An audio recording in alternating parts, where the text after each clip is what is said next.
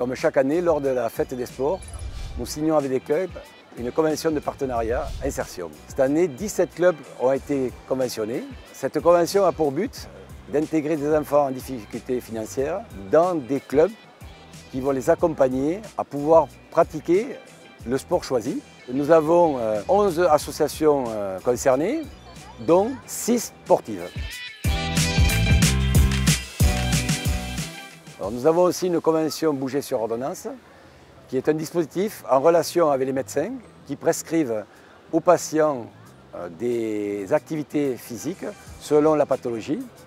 Et nous avons un référent qui s'occupe de, donc de mettre en lien le club et le patient.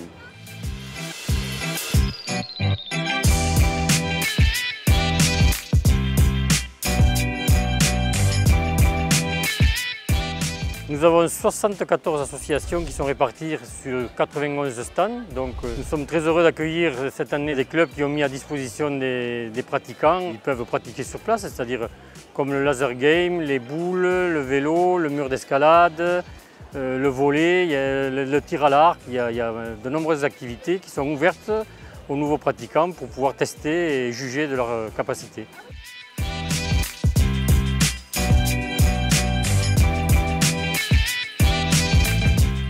Super, ça fait découvrir aux personnes euh, un peu toutes les disciplines, euh, ça permet de, se rendre compte un peu de tout ce qui peut exister. On ne soupçonne pas tous les sports existants, c'est très bien. Une bonne idée pour les enfants, c'est une bonne initiative pour qu'ils puissent euh, apprendre des sports et connaître des sports en pouvant les essayer et les voir.